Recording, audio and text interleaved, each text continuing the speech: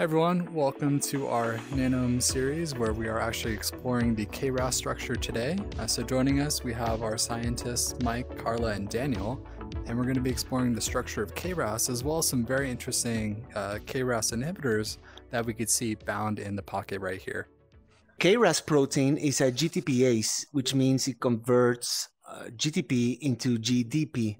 And uh, in this way, the KRAS acts like a switch that is turned on and off by the GTP and GDP molecules. Here we have the GDP bound, and here we have the actual active pocket with the ligand bound here with the switch 2 and switch 1 loops that are characteristic of uh, the KRAS protein so I believe they started uh, Bayer. They started with this compound to develop a new set of covalent inhibitors that we're going to be discussing very soon.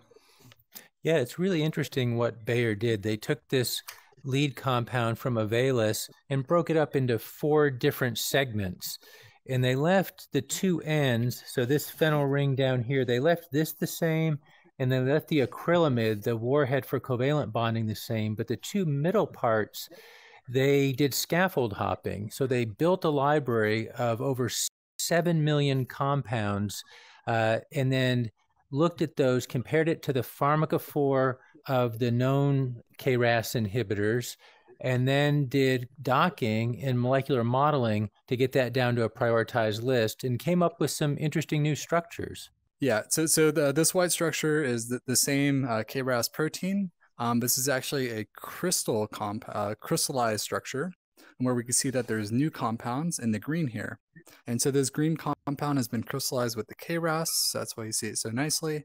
And we're just going to compare that to that original compound uh, by putting that in there and then just talking about some of these interesting differences. The original orange structure has uh, two ortho substituents on each of the uh, aromatic portions, which is forcing it to uh, a torsion of about 140 degrees or so. And I think it was a barrier rotation of approximately 30 kcals per mole, whereas the new structures are almost planar orientation of the aromatic rings. Yeah, and what's interesting about this is because this green one can get planar, you can see this carbonyl of this amide can make a nice hydrogen bond with the backbone glycine here. Whereas in the orange structure, it can't get close enough to do that. And there's actually a, a water molecule that sits here with the orange structure. So this is a new interaction, direct interaction that can be picked up with this new molecule. I was just going to mention that there's another precise H bond here with this lysine residue.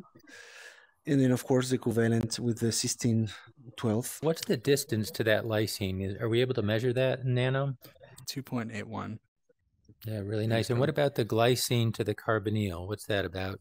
About the same? Uh, so we got this one to right there. Yeah, 2.83. Nice. And Daniel, you were talking about the cysteine here. Do you want to explain that a bit? Sure. So the wild type uh, contains a glycine here instead. And so the mutated does contain a cysteine, which contains a sulfur atom and that allows for a covalent bond with uh, the molecule here. So it binds really well uh, only to the mutated KRAS, not the wild type. So that's exactly what we want. Yeah, this KRAS G12C just is is on almost all the time and signals and signals and drives the cancer. But uh, by binding here, we lock it into an inactive conformation, and it can't it can't keep going back to the active conformation. So it's really exciting to have an inhibitor here in the switch two binding pocket. Right, affecting the the switch from the GDP converting to GTP, right? Which is located right over here. Yeah, and the switch two inhibitors are also attractive because the uh, of the extreme uh, affinity of KRAS for the GTP, so it's difficult to target the um, the GTP binding site as well. So uh, we have the cysteine 12, um, which is going to be the mutated type. Um, but if we have, uh, so oops, if we uh, select just the residue there, and then we pull up our handy dandy mutation menu. Uh, we could actually mutate that. So right now it's a cysteine. Uh, if we wanted to put that into a glycine, um, this should be mm-hmm. more like the wild type. and we could see that that you know got rid of the that covalent bond that we had there. Um, so really, when this glycine turns into a cysteine, uh, it makes it such that that covalent bond could form, um, you know, with the the sulfur that's at the end of the cysteine and the you know the carbon that we have on our chemical compound docked in there. That's Um, really yeah, nice. And yeah, there's another another pretty common mutant that's the G12D that uh, people would like to target. But if you put it in aspartic acid there, we can see that we're not able to form the same covalent bond with the acrylamide. So we need a different strategy if we wanted to go after G12D. Um, but yeah, we have the the cysteine, um, and then we could also have the um, aspartic acid over there. And the aspartic acid doesn't have the sulfur; it just has the uh, the oxygens at the end there. So yeah, this is what I wanted to show how you can grab the molecule with your hands. You can see the GDP. You can turn it around and see the binding pocket with the ligand here inhibitor.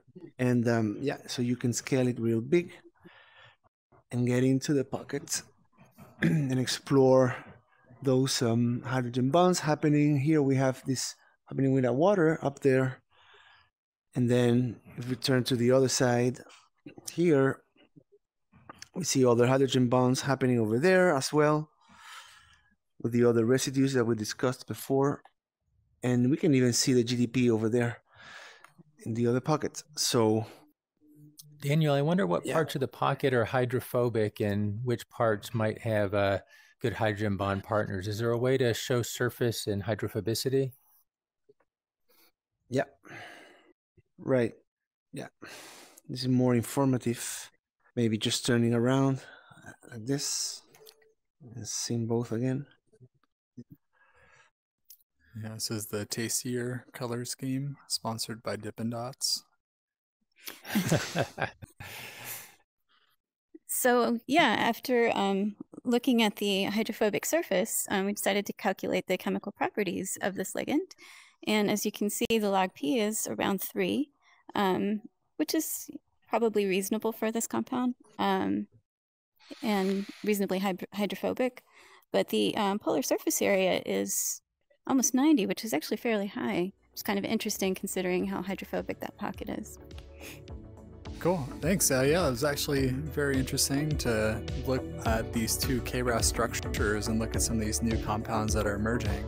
Um, yeah, very exciting to see all the research, and we hope that uh, someday these drugs will actually help cure cancer and you know, help treat cancer and, and affect patients' lives. All right. Yay. Thank you. Bye. Thank you. Bye bye.